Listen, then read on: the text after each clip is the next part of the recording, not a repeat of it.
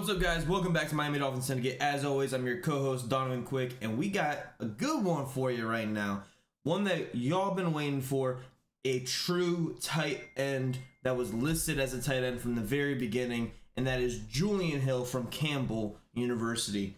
Now, this guy, he's a really physical freak. He's absolutely huge, and he has big hands, and he can catch the ball. He's a natural pass catcher.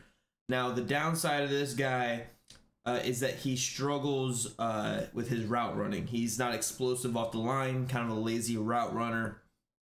And then on top of that, uh, he's kind of a lazy blocker as well. So, uh, really, he's kind of just like one of those guys that are like, okay, you go here and just go up and get the ball, which I am perfectly fine with. If you guys know me, like, look, I like my tight ends that are good all around. But for an undrafted free agent, we already got Hill and Waddle and even Robbie Chosen Anderson uh, and all these other fast guys and everything else.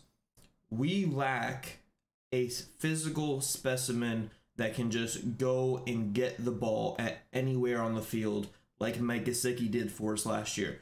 I've said time and time again, we don't win that Baltimore game last year without him, without him going up and climbing up 10 feet to catch a ball. Who else is doing that on this team? Who else is going to be able to do that and bring their feet back in bounds?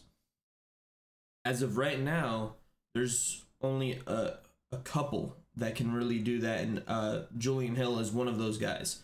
Now, if he can, over this offseason, uh, work on his route running and his blocking, I think he could potentially uh, make the 53, but I think as of right now, we're looking at a possible practice squad developmental guy. But hey, you know, that's not necessarily a bad thing. We can use good guys on the practice squad. God forbid someone gets hurt, bring them up. They know the system, they can step in. And this guy, he can catch the ball.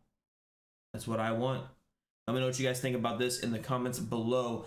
Thank you for all the love lately. We're on the road to a thousand subscribers. We just cracked over 500 yesterday, and we're almost at 600 already. And I really, really do appreciate y'all. And I can't wait to continue this with you guys.